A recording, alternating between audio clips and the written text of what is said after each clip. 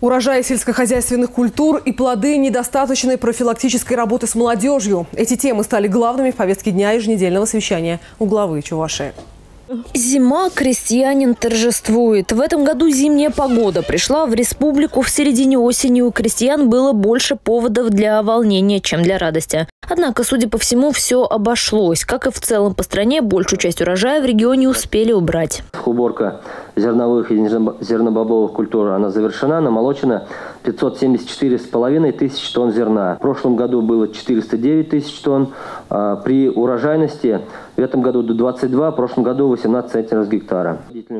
Наибольшей урожайности достигли в Урнарском, Красноармейском, Ядринском и Чебоксарском районах. Зимые культуры в большинстве районов тоже посеяли в запланированном объеме. Конечно, как на них сказалось, непогода точно станет известна весной. Однако ледяной дождь затронул только треть территории республики. К тому же, по словам специалистов, растения уже впали в анабиоз. Так что серьезного ущерба осадки нанести не должны. Зато серьезный ущерб здоровью, а то и жизни могли получить более сотни молодых людей. На прошлой неделе правоохранительные органы предотвратили в Чебоксарах массовую драку. 22 октября многочисленные группы молодых людей собрались на улицах Гагарина и Калинина. Сейчас прояснились некоторые обстоятельства. Когда было задержано 111 молодых людей, все они были доставлены в разные отделы полиции города Чебоксары.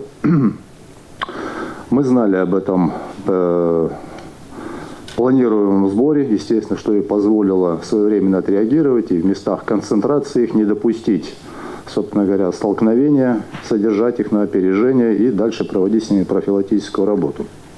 Профилактической работой теперь займутся не только представители правоохранительных органов. Возраст молодых людей от 15 до 20 лет. Среди них ученики разных школ столицы и студенты практически всех чебоксарских вузов. Ректор кооперативного института отметил, вычислять потенциальных зачинщиков и принимать превентивные меры не так просто. И вот почему. В связи с принятием закона о персональных данных органы внутренних дел сегодня не направляют в учебные заведения данные о тех э, студентах, которые совершили правонарушение.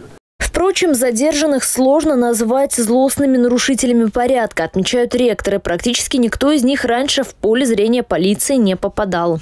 Среди этих ребят мы не могли найти ни одного злостного прогульщика. Вот у меня, например, шестерых человек, два человека входят в состав студенческого совета – есть ребят, которые активно занимаются спортом. Это нормальные дети, нормальные подростки, но, к сожалению, вот ощущение причастности и, может быть, коллективизма, ложно понятое, могло бы привести к очень плохим последствиям и к возможному привлечению к уголовной ответственности. Так или иначе, пока ничего инкриминировать задержанным молодым людям нельзя. Ни уголовных, ни даже административных дел на них, скорее всего, не заведут. Зато их ждет разговор с родителями и работа со специалистами по месту учебы. Михаил Игнатьев поручил взять дело под особый контроль и всерьез заняться профилактикой. Ольга Пырочкина, Сергей Рябчиков, Республика.